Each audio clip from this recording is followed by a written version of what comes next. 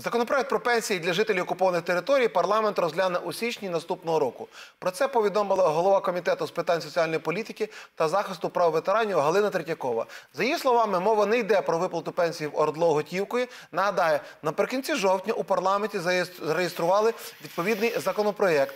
Він передбачає скасування обов'язкової реєстрації пенсіонерів як вимушених переселенців. За пане Юрію, е, що це по вашому Ну, як, рішення? Оце як на мене, це наслідок того, що наші депутати не знайомі з чинним законодавством. Абсолютно. Його не читають і так само Мені голосують. здається, що ви спеціально хочете їх зробити трошки дурнішими, але ми з вами розуміємо, що все, що випускає уряд, всі постанови мають, крім того, і корупційну складову. Дивіться, якщо уявити собі, що вони це знають, то вони є вже злочинцями. Тому що стаття 49 базового закону а, про загальнообов'язкове державне пенсійне страхування містить лише 5 випадків, коли людина може не отримувати пенсію на законних підставах. Це якщо пенсія призначена на підставі документів, які містять недостовірні відомості.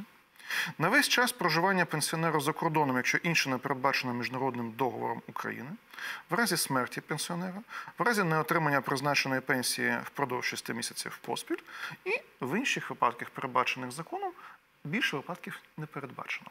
От інших їх просто Ну, немає. дивіться, ми- Відповідно, якщо, ну. якщо неотримання виникає через те, що тобі не сплачують цю пенсію, це можна оскаржити в суді. І вже є приклади, як Європейський суд з прав людини дає свої приписи, що Україна має сплачувати ці пенсії. Більше того, якщо подивитися на пункт 2 цієї 49 статті, тоді виявляється, що український уряд вже кілька років визнає ЛНР та ДНР іноземними державами. Інших Де варіантів це таке було? а, ні.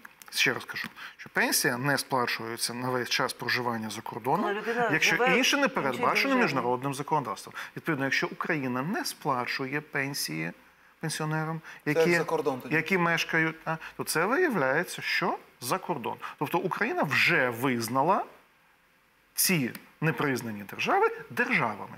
Інших варіантів бути не може. Раз. Забули, не знали. Пане це а не, як, про, а не як, про уряд. А як вам за от, наприклад, пропозиція? Я знаю, що миротворча місія ОБСЄ, вони там реально достеменно орієнтуються в ситуації.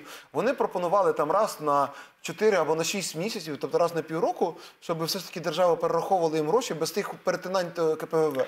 Слухайте, е, якщо тут зараз, в Києві, е, діє вельми специфічна норма в пенсійному фонді, що ти, отримавши від своїх батьків-пенсіонерів, нотаріально завірене доручення, отримати замість себе пенсію чи оформити пенсійну картку, не можеш цього зробити, бо держава Україна не довіряє власним нотаріусам і потребує обов'язкової присутності пенсіонера в пенсійному фонді при оформленні а, такої пенсійної картки, то що говорити про ті території, яка Україна не контролює? Дякую.